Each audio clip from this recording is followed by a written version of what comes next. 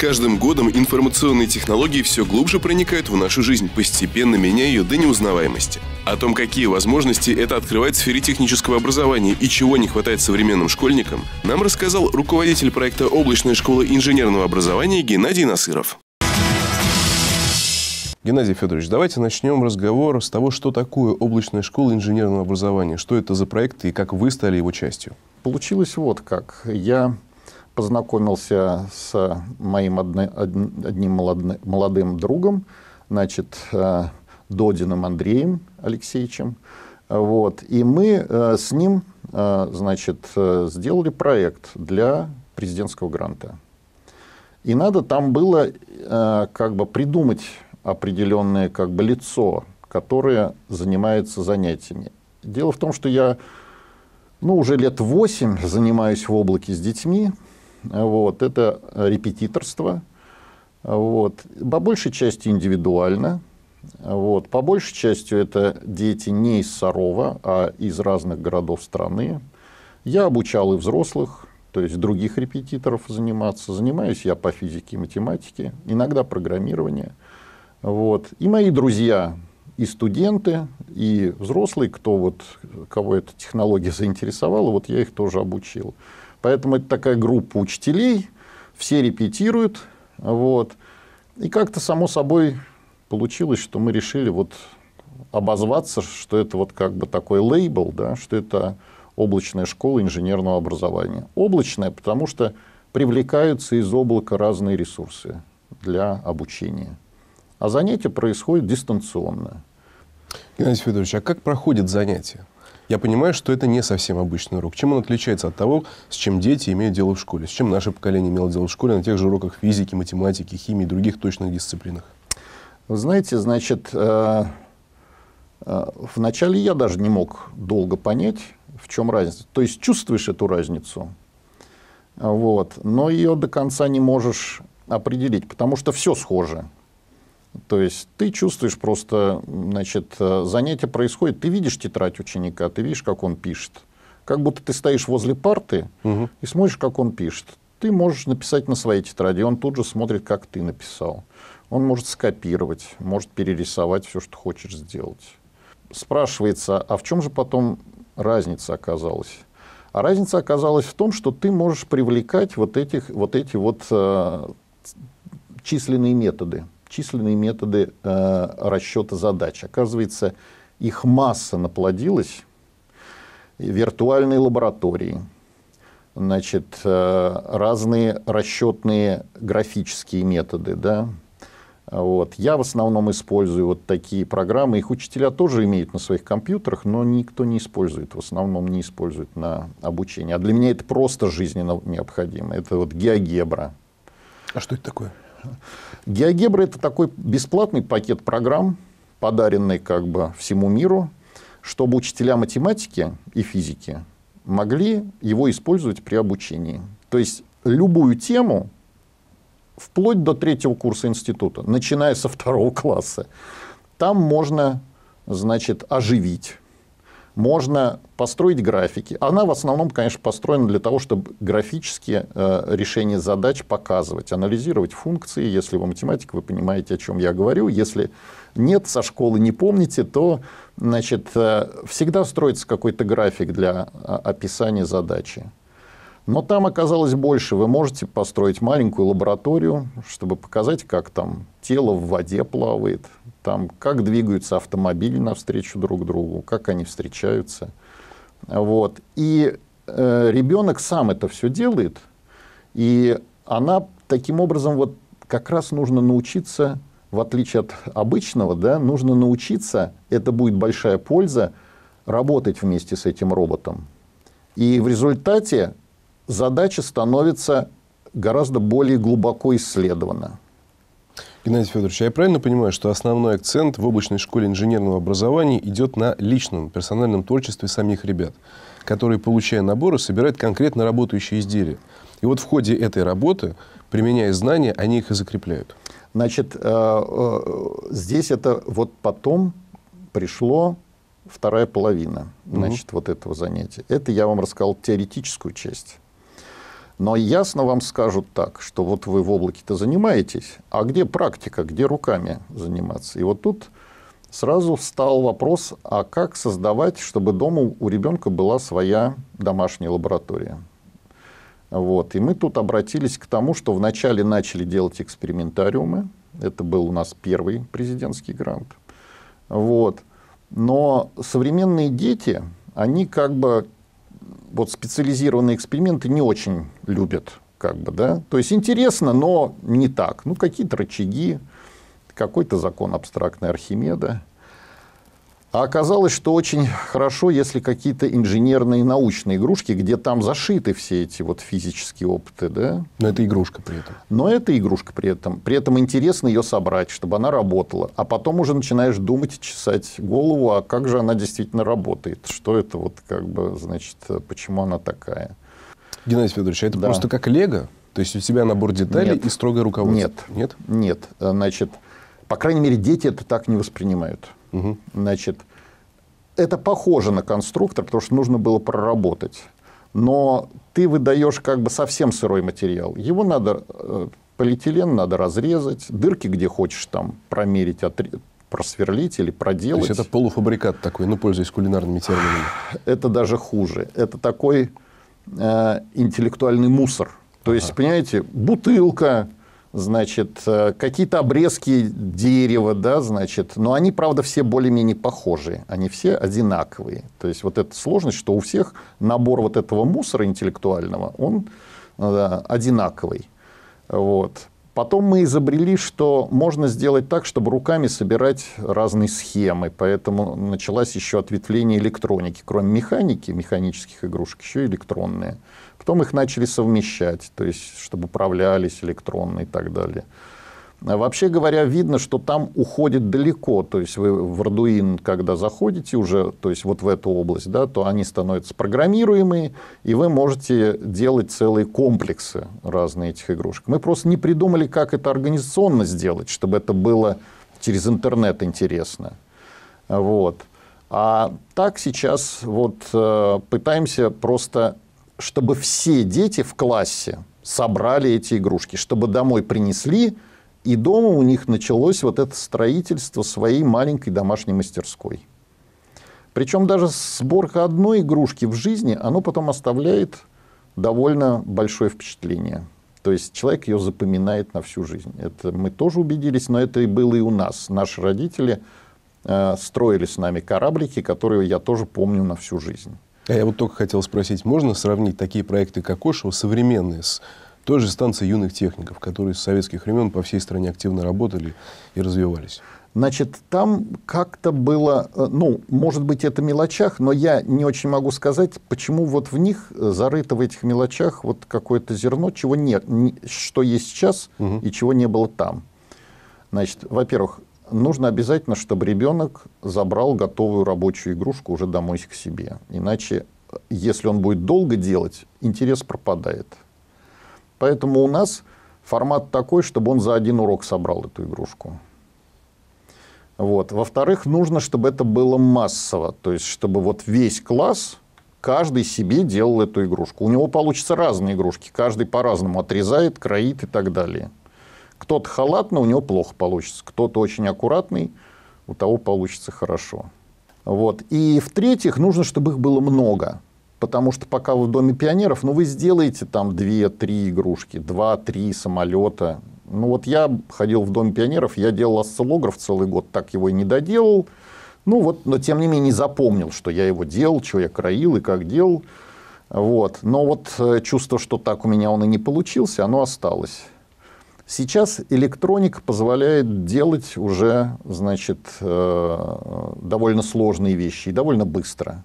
Пусть даже оставив за кадром отдельные блоки. Но вы входите в этот мир. Вот меня сейчас пионерлагерь приглашал на осенний, значит, вот эту, на осенние каникулы. Вот я только-только приехал. Там было 200 детей. Нужно, чтобы все 200 собрали игрушки. Там был такой случай, когда девочка одна, взяв этот конструктор, сразу начала плакать, семиклассница. Говорила, что никогда в жизни у нее ничего не получалось.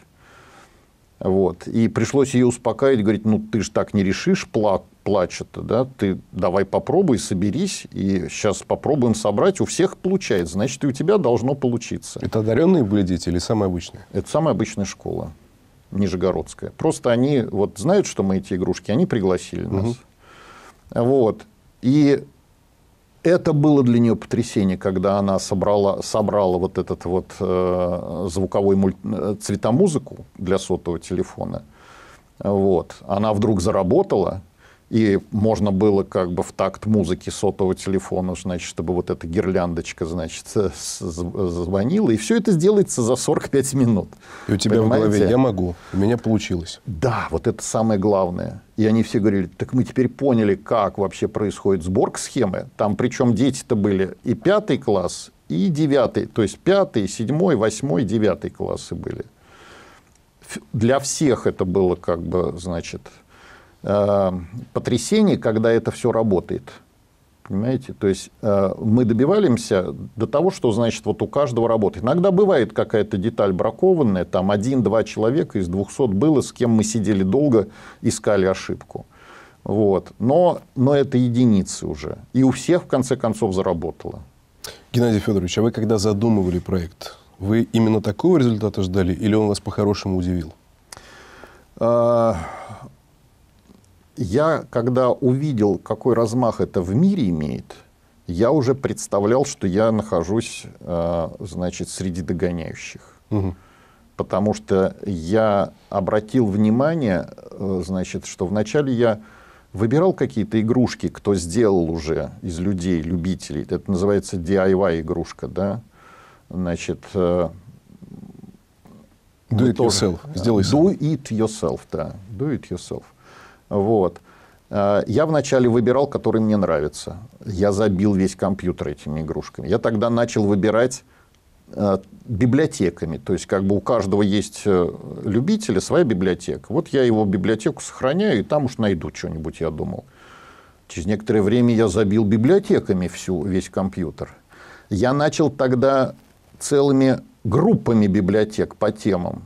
И когда у меня уже компьютер начал забиваться, когда я группы, я понял, что это бесполезно. То есть какая-то простая лампочка – это тысячи и тысячи разных вариантов настольных ламп, как можно собрать ее для того, чтобы, значит, она удивила всех людей, понимаете? Вот здесь было потрясение. И я когда понял, что человек, ну вот он раз в неделю бы в школе собирал игрушку, которая, безусловно, полезна, да, всего 33 недели человек обучается. 33 игрушки за год, за 10 лет он соберет всего 300 игрушек. А вы на одной странице видите полторы тысячи игрушек у любого DIY, как говорится, там, творца, что называется. Причем это тысячи и тысячи методов. То есть тут нужно как какой-то вот еще предстоит понять, как это лучше делать. Вот. Причем э, ясно, что это должно рука об руку идти с программированием. То есть это не просто ты собрал игрушку, а когда человек становится старше, нужно, чтобы она управлялась. Вполне возможно, нужно делать какие-то упрощенные детские роботизированные комплексы. Я повторяю, ваш профессионализм будет зависеть от того, сколько вы роботов имеете у себя за пазухой для того, чтобы, значит, начать работать. И вы, когда приходите на работу, говорите, да, я знаю, я... Вот многие думают, что это надо писать там на Java, на JavaScript, там, на других языках каких-то там, да, скажем, на C-Sharp и так далее. Вот уже дело не в этом, а вот именно в готовых вот этих роботов, которые вам позволяют потом, э, значит, быстро профессионализироваться вот в данной какой-то тематике, понимаете? То есть вы значит, э, моментально подключаете для расчетов, значит, э, э, значит, ну, пакеты, я не знаю, известные, которые в России проходят, это там маткады, значит, значит матлабы, вот, но это тот мизер, который как бы всем известен, да, но для школьников их десятки и десятки. Вот вы видите, геогебру вы не встречались. Вы знаете, вот вы Алгоду да, не, включ... не встречались. Каждый университет американский, ну не каждый, ну в общем как бы есть ряд университетов, которые предлагают виртуальные лаборатории, где тысячи учителей работают и свои игрушки предлагают лабораторные. Ты просто приходишь туда бесплатно, и делаешь все школьные опыты, которые там есть. Такие сетевые образовательные технологии. Да, да, да, да. И это тоже, я их называю роботами, потому что они все роботизированы. То есть, они все тебе помогают сделать, они тебе помогают разобраться во всей, во всей сложности любой науки. Геннадий Федорович, как вы считаете, вот то, что то, о чем мы сейчас говорим, все эти технологии, это революция в образовании или просто один шаг вперед? Нет, это явно революция в образовании.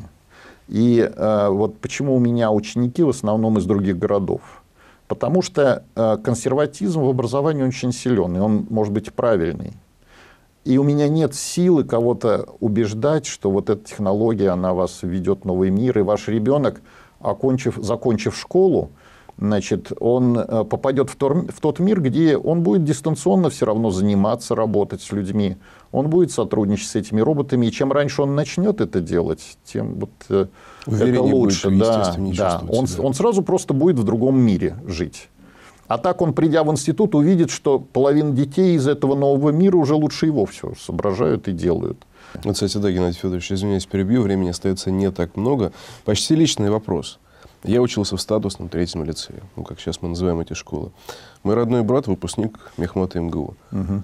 Я в точных науках, ну, просто, ну, дуб. Вот могу постучать, наверное, даже какое-то эхо пойдет. Вот вы, как человек, который много лет преподает, у вас богатейший опыт. Как вы считаете, с чем это связано? Это кому-то дано, кому-то нет? Какая-то элитарность, наследственность, генетика? Что это? Нет. Э, вот э, у меня полное ощущение, что э, сейчас Э, значит, вот э, что-то внутри, вот как бы совершенствовали, совершенствовали образование, делали, делали его более, э, более аккуратным, там, регламентированным, там, значит, вводили разные как бы стандарты и так далее, и незаметно вдруг что-то выкинули. Выкинули, причем что-то важное. Такое, что дети стали плохо учиться. То есть меня это заволновало, почему я стал с маленькими детьми заниматься так же увлеченно, как и с э, детьми старших классов и со студентами. Э, значит, э, потому что я понял, что я некоторых детей уже в девятом классе, десятом, я не могу их ничему научить, они пропустили что-то очень важное. Когда ребенок не может в десятом классе делить на два или на десять, вот, когда он не может понять сути предложения, вот их пять предложений, задача формулируется там два-три предложения, но иногда пять. Но он не может прочесть и сообразить, о чем идет речь. И это все в старшем классе, в старших классах. Я понимаю, что где-то системная была причем ребенок не, значит, не больной какой-то, да, то есть из культурной семьи, и, значит, родители интеллигентные, и ходит он, и места какие-то занимает, и даже на робототехнику ходит. Но не умеет линейкой отмерить 4 сантиметра. К девятому классу сплошь да рядом такое. Серьезно? Ну, вот мы сейчас вот с этими детьми, которые занимались, вот в пятом классе, ну, приблизительно треть не может. Они никак не могут понять, откуда ноль отсчитывать, понимаете? То есть... И при всех тех возможностях, о которых мы только что да, говорили. Да, да. Ну, при тех, вот как школа сейчас учит, она же ведь вот э, много рабочих тетрадей, там, наглядные пособия, масса денег, значит, просторные классы, значит, э, вечера, значит, там, утренники и так далее. Вот. Э, самое трудное – это пользоваться линейкой и сделать раскрой любой коробочки там, или просто, значит, отмерить э, поля просто, понимаете? Вот как ты не бьешься, половина сделает кривые. Это все, никак они не могут это провести. Вот. Вот это вот э, проблема, значит, что-то мы выкинули. И вот я, значит, долго думал, что же вот какое коренное это, вот что могло было выкинуть. Так вот, выкинули топики, выкинули как раз устный счет. Причем устный счет не просто, а именно умственный счет, когда ты должен представить в голове задачу и попробовать ее на вот этом научном языке, то есть на языке географа, если это география, на языке учителя английского, если это английский язык, на, уч... на, на языке математики, если это математика – на языке физики, если это физика. То есть вот описать и решить в голове, как ты решаешь эту задачу.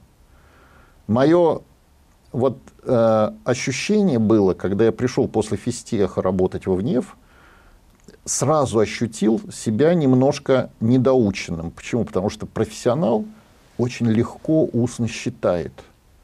То есть ты бьешься там неделю, решаешь какую-то задачу, ты приходишь, он говорит, слушай, у тебя неправильный ответ. Говоришь, а как же вы решили? Он говорит, да устно же, ты посмотри, вот там так-то, так-то, вот это так-то, так-то, а здесь вот смотри, вот термопара 40 микровольт на, на градус только выдает, а у тебя сколько получается? И ты как дурак стоишь, смотришь, ты целый месяц работал или неделю там вычислял, а он тебе вдруг на пальцах моментально все раскрывает. Он знает этот язык. Он легко им думает в голове. Так вот, ребенку не дают этого языка. Ему нечем думать. У него нет слов внутри. Он еще пока как вот животное, как собачка, которая не знает языка. Ей нечем думать. Он может только сказать, я хочу кушать, хочу спать, хочу уйти домой. А ему надо, если он изучает географию, знать, какие течения, какие океаны, где какие особенности, исторические возможности, какие там полезные ископаемые, чтобы это было естественно. Для него это должна быть таблица умножения, чтобы он на этом мог рассуждать. Вплавить знания в ребенка, чтобы да, они стали частью да, него. Причем не надо глубоко, а именно вот какие-то основы, которые и создают фундамент. Вот этот фундамент – его выкинули. Ну, чтобы он понимал, там север, там юг, да, там запад, да. там И как это легко определить, и почему здесь вот так, а здесь ты будешь чувствовать себя вот так вот. И он Понимаете? как минимум не испугается, попав да, в эту среду да. и столкнувшись с задачей, Важно, чтобы он научился в голове, значит, рассуждать. А дальше он может уже с кем-то обсуждать эту проблему. Когда два географа начинают друг с другом обсуждать, это очень интересно смотреть. Или когда два историка начинают обсуждать историю данной местности. Они знают какую-то таблицу умножения по этой истории, с помощью которой ты сидишь и смотришь а, как дурак, потому что они знают там значит, э, тех людей, которые здесь родились и которые творили эту историю. А ты этого ничего не знаешь. Забыл. Вот здесь всюду такая же ситуация. Вот поэтому вот эта таблица умножения Рачинского, умственный счет его, да, вот это и есть тот фундамент, собственно, который и лежит в основе изучения любого предмета. Вот это вот я, как бы мое маленькое достижение, которое мне позволило э, открыть вот именно во время облачного преподавания. Дело в том, что там дети тяжело писать, надо писать мышкой, угу. и они плохо пишут. И тогда я им говорю, а ты устно посчитай. И вдруг выяснилось, что это дает фантастический результат. Они начинают много считать устно, и вдруг начинают прогрессировать. И тут я открыл, что, значит, оказывается, это очень важный момент. То есть, это не просто так было открыто. А потом вот я повторяю, что я встретился с учителями из МГУ, они говорят, да это, это вообще самое главное. Это, собственно, и есть база. И если ты ее тихонечко выкидываешь, ты потом это ничем не можешь заменить. Но изучение английского языка без топиков, ну, ты будешь, как говорится, значит, с помощью словаря быстро открывать его и читать предложения, но знать язык ты не будешь. Это, знаете, что мне напомнило?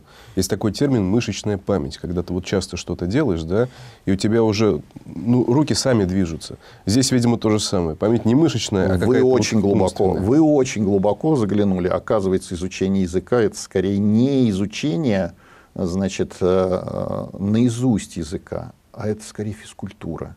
Потому что человек думает всеми мышцами своего, своего этого самого э, лица, руками, Понимаете, вы весь двигаетесь, когда думаете. И когда устно считаете, вы запоминаете движение всех своих мышц неосознанно.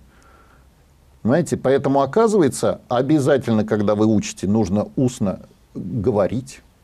Иначе вы не запомните движение мышц лица. Точно так же, когда вы учите устный счет, надо обязательно говорить с другим человеком. И тогда вы вдруг начинаете осознавать те проблемы, которые вы не понимаете. В общении как раз и создается вот это знание. А второе, нужно вот уже привлекать руки, когда вы еще при этом крутите, и вот эта игрушка получается, это вы погружаетесь в этот мир, в мир техники.